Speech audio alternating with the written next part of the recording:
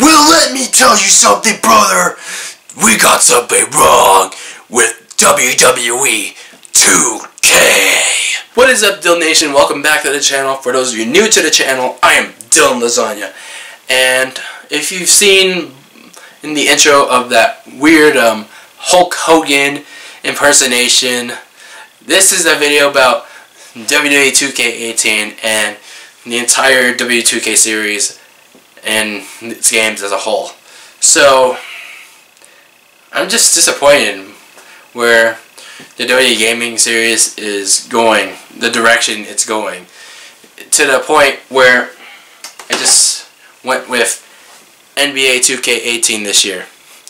And maybe that's the direction I may be heading in the near future because of how the WWE series is not really going to improve in the near future.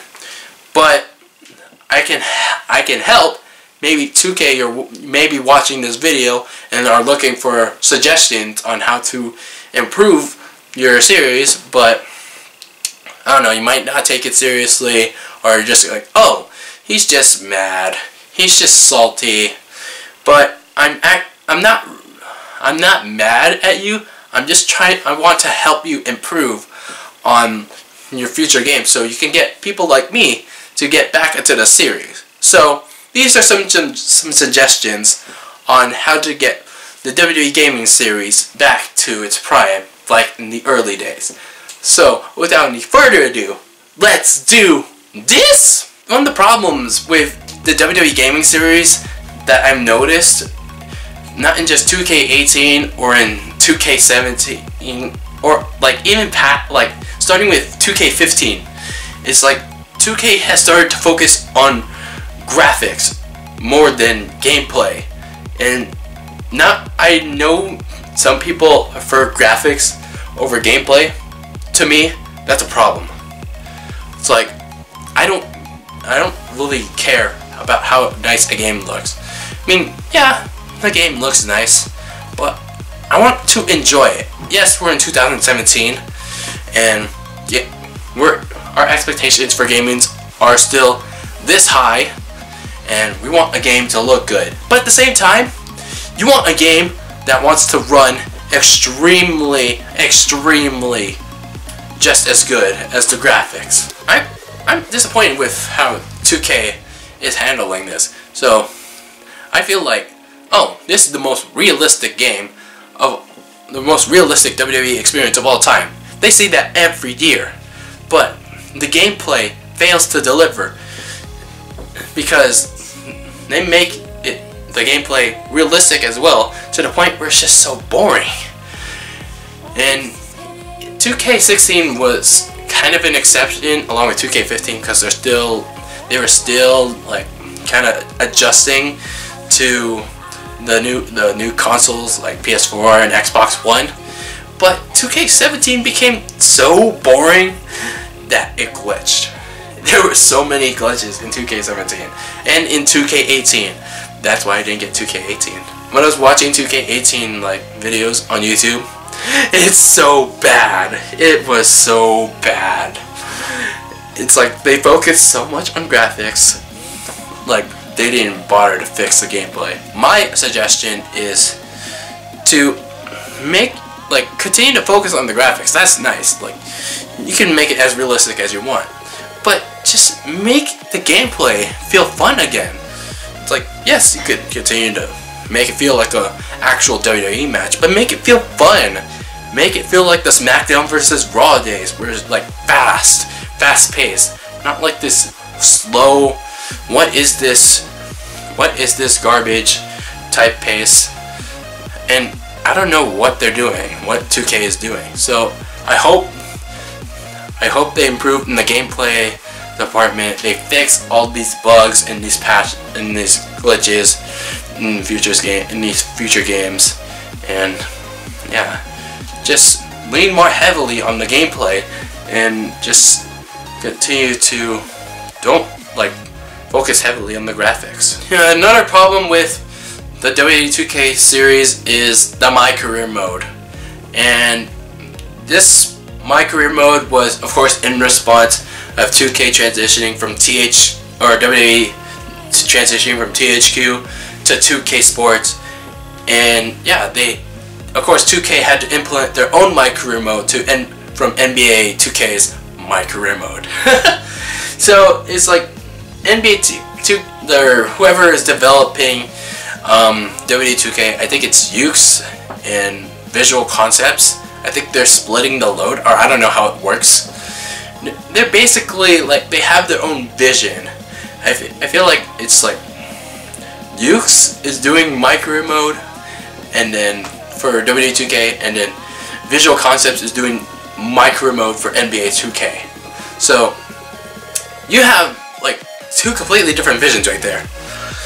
It's like I I played a little bit of my career mode in NBA 2K18 and I can tell you it's so much better than the my career videos that I've seen in WWE 2K18 and the my career modes that I've played in past in past games. I, I feel like it's not capturing like the actual WWE experience. I mean, they come up with like new ideas each year, but it's just not living up to the hype. So maybe they'll give it another run in 2K19, but if it fails again, then I think you should just throw it all away and go back to the roots of Road to WrestleMania mode because that was a mode that everyone liked, a a true story mode. Like, sure, it doesn't feel as real to the as to the WWE experience, but it was a game mode that everyone enjoyed. A good story, and it was just so fun to play. Or maybe you go back even further with a year-long season, a year or two long season mode with an actual story. Sure, you may not get all the um, wrestlers to voice act their lines, but do do like what you did with 2K18 with the um those um voice like those voice lines, but make it realistic. Don't not those lines where if it sounds the wrestler sounds dumb. but yeah, I would love to see a season mode in um, a future like 2K in the future 2K game. But other than that, I don't know about the future of my career in a WWE game. It's just disappointing. When I want to select a match in in like exhibition, half of the match types are exactly the same thing. It's like when I first played like back in SmackDown vs. Raw 2006, there were a, a variety of match types. There were, of course, you had the normal match, then there was Hell in a Cell, then there was the the title matches, then there was Hell, there was Buried Alive, but now in the 2K games, have almost exactly the same thing. You have, you still have this Hell in a Cell match, you have the steel cage, but then you, you get down, you get searching real deep. Then you have Falls Count Anywhere, you have No Holds Barred, you have Extreme Rules. Those three are exactly the same thing. The only difference is, with the only difference between Falls Count Anywhere and No Holds Barred and Extreme Rules is like in Extreme Rules you can select you have a variety of weapons to select, and you have to pin your opponent in the ring. Same thing with No Holds Barred. Huh. It's the exact same match type. What are you doing? What are you doing, 2K? I feel like you use you, those spaces can be filled up with match types people want to see.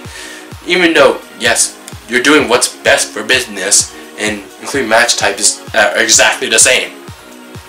People want to see matches like yes, even though they're not seen in WWE anymore, can still put them in the game for for goodness sake. Include three stages of hell. Include buried alive. And even include the ambulance match. That was in that was in WWE in 2017. And maybe in, even include like war games if you could try to fit it in there. But overall, just don't take up like space in the game for match types. They're exactly the same thing. For goodness. Like, we want variety match various match types, not the exact same thing that that sound different. But other than that, I just want various match types. This problem I have with the WWE gaming series is has also become recent with like the match types and it's been going on since WWE 13 I think. And that's this is in regards to the roster. Have have you noticed when you play like WWE 13 14 and beyond even in W2K18 the half of the roster is the exact same person except is a different era of that person? There are even two Finn Balor's in that game. What? Are you kidding me? It's like you couldn't even put what, what's her name I, I don't know it's like I haven't watched WWE that long so yeah but anyway, you, you get my point though. You get my point. It's like you have like I think there are a record of five stings in WWE 2K18. There were still two two rocks in that game. There were two Kanes, or I think there were wait, were there two or three Kanes in the game? But that's insane. Those spots could have been filled with either like actual unique legends or new and act new and current superstars. No, instead, you decided to put in like wrestlers of the same that are the same but are different versions of themselves. You know what you could do, 2K? Put those five Stings or like cut those Stings in half and make them alternate attires. I mean, yes, Surfer Sting is unique. You can keep them the same. Um, Crow Sting is unique. Like, yeah. Those two versions could be, like, separate. But five stings, no, cut them in half. It's like, you don't need five stings in the game. No. Make them alternate attires. Unless if it's a, like, a unique persona, like the Three Faces of Foley or the American, like, BA version of The Undertaker. Uh, the, no. Don't. It's like, fill those spots up for for the current wrestlers that are already on the roster or just made their debut. It's like we don't need the same exact wrestler on the roster unless if it's like a unique version. Five Stings are, is not unique. This one's like a small one. It's not. It's kind of a problem, but it's also like a positive too. And that's just to continue reintroducing some of the creation features. I I really liked how WWE 2K18 is slowly continuing to reintroduce like some minor features in the creation suite like introducing more options in the create arena create a show custom create a championship um, I feel like 2K19 can put back in the create a story but then for some reason you already have WWE Universe but then at the same time I'm contradicting myself again. you don't have like the you don't have a feel of making your own story in universe mode. So I feel like with Create a Story, which was introduced back in SmackDown vs. Raw 2010, you can feel like it's your own like WWE again. So I feel like with Create a Story, that would be a really nice way to get fans back into the WWE gaming series. Speaking of universe mode, I feel like it's just there. It's it's it's feel like it's just a placeholder mode for like an actual like story mode. My career is not a story mode, okay? I feel like universe mode is just there to make your own like I don't know. It's just like a watered down version of create a story.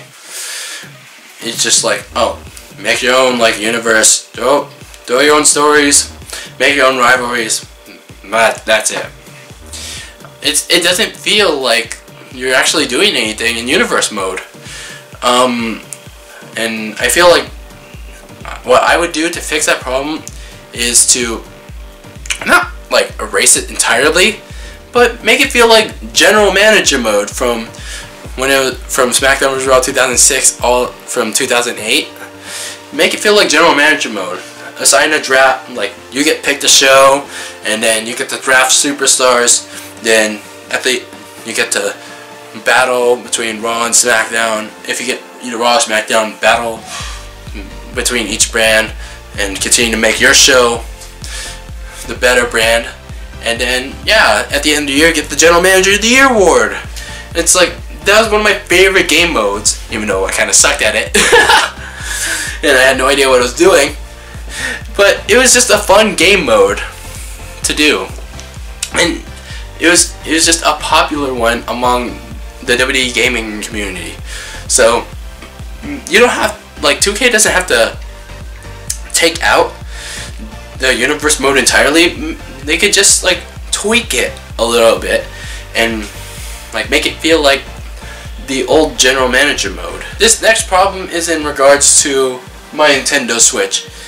If you guys don't know already yet, WWE 2K18 was released on the Nintendo Switch, I think a couple weeks ago, but they first announced it back in July, and when they first heard the annou announced it back in July, I was excited. I was really excited to play WWE again on the go since SmackDown vs. Raw 2011. And when I first saw the gameplay of it, boy, did my perspective change a whole lot. And when it and then when I first saw it on the PS4 and Xbox One, even with the patches that were released later on, that changed as well. So, that was one of the reasons why I decided to get NBA 2K18 on the Nintendo Switch. And, yeah, they released patches, but, like, I think a week ago, but it nothing has honestly changed, really. Entrances are slow. They're, it's like you're moonwalking on the moon, like Michael Jackson. Um, gameplay is just so bad.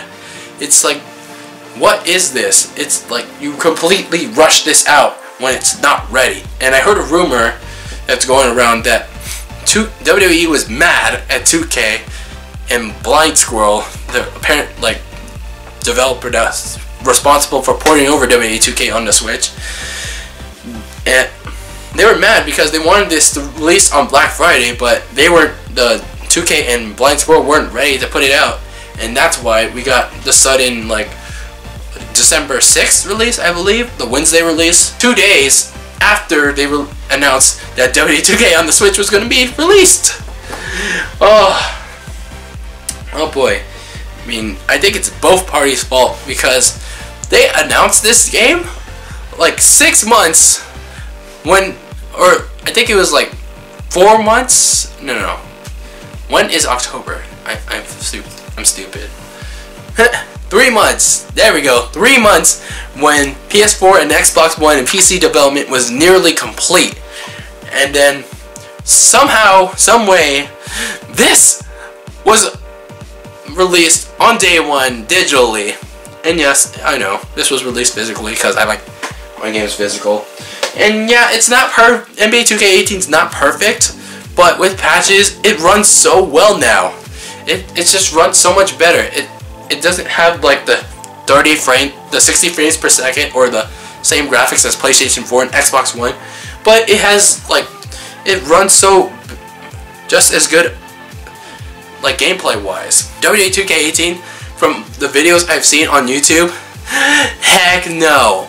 I don't even need to get my hands on that thing to to convince me otherwise. It's just so bad on there. I've seen people play Elimination Chamber. I've seen play, people play Hell in a Cell. Even the Royal Rumble, it lags. So many lags, glitches. Even, well, I mean, graphics are not that bad, honestly. I don't care about graphics anyway. But that was just the ultimate slap in the face to everyone expecting this game to be. Well, I mean, of course it was going to be a downgrade, but at least a playable WWE game on the Nintendo Switch. And I don't want to rant on this a, a lot longer, but WWE, 2K, and whoever helps develop and port this game over to Nintendo Switch, if they even do it for 2K19 next year, you got a full year now to put this on the Nintendo Switch. And if you do the same job that you did for the Nintendo Switch that you did for 2K18, then there's no way in heck that people are gonna buy this. And I feel like you guys are gonna be the one that are gonna be blaming the fans for the lack of sales and for the bad performance that's gonna be on the Nintendo Switch, and that you feel you guys are gonna be the be blaming people for as the reason why there's gonna be no 2K20 or even a 2K19 for on the Nintendo Switch. Shame on you guys. Shame on WWE. Shame on you WWE. Well, actually, more shame on 2K and more shame on whoever helped the port over the Nintendo Switch version of WWE 2K. So if you port over this game for 2K19 or even beyond, no excuses anymore. You've had you had a chance for the for this mess of WWE 2K18 on the Switch. So if you do it, no excuses. And my last issue regarding the WWE 2K series is the lack of a third game mode. And we have universe mode, we have the technical story mode that is my career, but there's no actual like third mode in the game. There's usually a third mode in the game.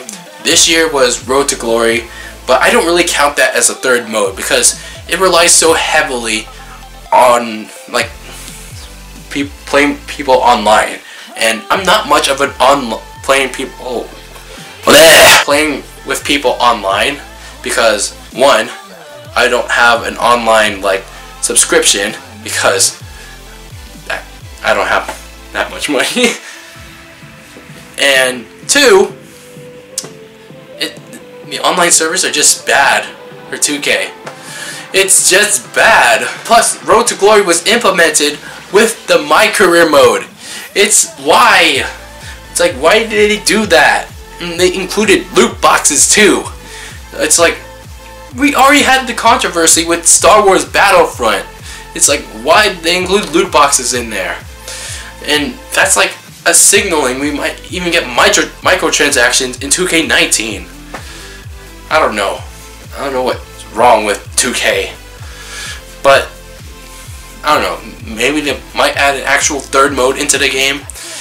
I'm I want to see something like what we saw in 2K14, like defeat the like the streak mode. Remember the the streak mode from WWE 2K14? Like the defeat the streak mode, defend the streak mode. That was like a fun gameplay to do because I always I would always use my creative character to try to defeat the Undertaker, and I remember failing until I finally beat him. And then I think there was another one, the PS3 version of 2K15, where you had to defeat John Cena with the uh, NXT Superstar. That was that was also cool too. So maybe like you know, hopefully they add a third like actual game mode that people will actually do that's not online heavy. So hopefully we get to see that the near future. Anyway, donation, that's gonna do it all for this not really rant against WWE 2K18. This again, this was in no way to hate on the WWE 2K gaming series as a whole. I I just want to see like this series thrive because I, I, love wrestling. I, I, I really love playing like wrestling games. It's just like unfortunate that 2K and like the w and WWE like take this take this lightly. I mean, 2K is like helping develop NBA and they're doing so much better. And I don't know why they can't do the same with WWE. So I hope like 2K if you're watching this, you at least take some of these suggestions into consideration. I mean, yes, I know you always do what's best for business, but at least take this with some sort of like consideration. I don't know, but but yeah, that's all. That's all. Bleh. I can't form sentences today. That's gonna do it all for this video donation. So make sure you subscribe to the channel, tap the bell for notifications, especially for those of you that are new, and follow me on Twitter and Instagram. Those links will be in the description as well. And like, comment, share, subscribe, and always be delicious. And oh yeah, also don't forget to leave your suggestions on what w, like the W2K series could use. to improve in the near future, so we can get back, so we can get back into the WWE gaming universe. All right, donation. I'll see you guys next time.